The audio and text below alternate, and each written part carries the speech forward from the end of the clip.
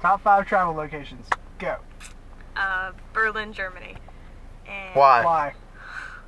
Because I'm part German, so Why? I also want to get wasted Tell for me Oktoberfest. Okay. Next. Uh, I want to go to Angel Falls, Where's that? South America. Okay.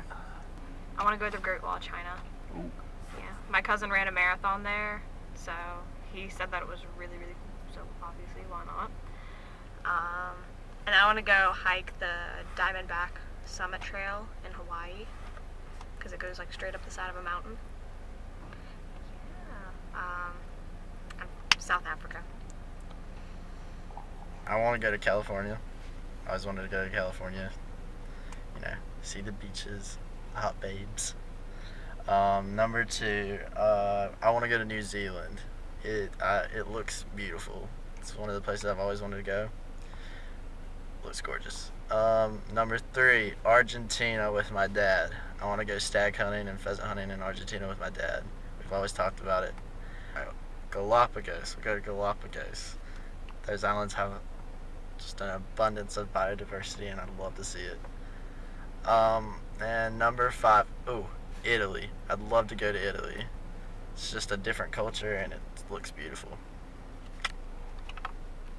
Um, the number one place I want to go is the Suicide Forest in Japan. That's the. That's not. It. Wait, is that like a? Number two is Los Angeles, because just a lot of weird people. I think I'd fit in pretty well there. Um, number three is Chernobyl, because I think it's cool. I think it'd be cool.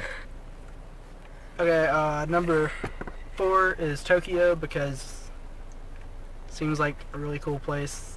Lots of people, lots of culture. What? Number five, Australia.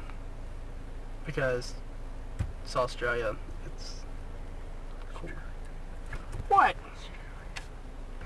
What? Forgot about Australia.